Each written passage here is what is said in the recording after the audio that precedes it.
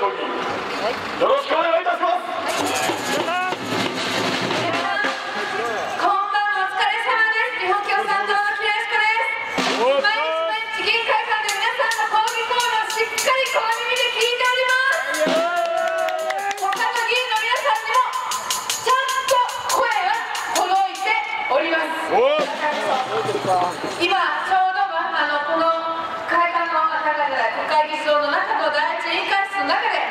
この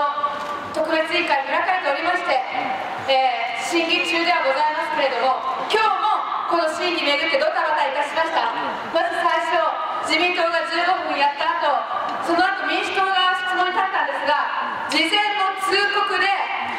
森雅子大臣と官房長官を指名していたにもかかわらず官房長官が出てこないアホこういう状況の中で一時休憩になって2時間審議がストップしたそれで今再開しているところであります丁寧な審議をするといった約束はどこへ行ったのか。まともに審議してないのが実態なのではないでしょうか。こういうやり方こそ許せないしそういう中でもそうは言っても皆さんの抗議のおかげで今参議院の野党7党はですね慎重審議をということでは一致しております。お修正協議に応じたみんなの党や維新の会でさえ慎重審議が必要だと言っている。これ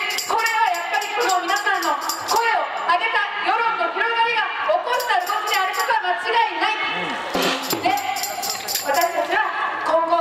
月曜日ですね6時間審議が行われることが決まっております。で火曜日は参考に質疑が行われるかもしれないですがそれについては自民党が言っているだけであってまだ決まっていないその先は未定ではありますが与党は、えー木曜日ぐらいには委員会採決に持ち込みたいという構えでおります。からそんなことは断じて許さない。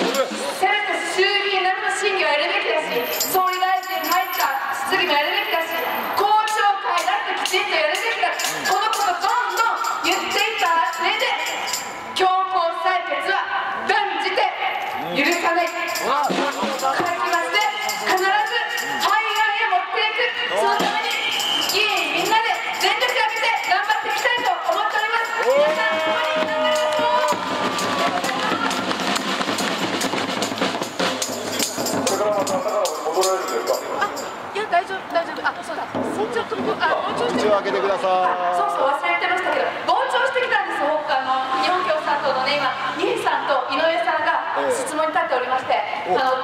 やったのが例の修正案の60年。これどういうことかっていうことで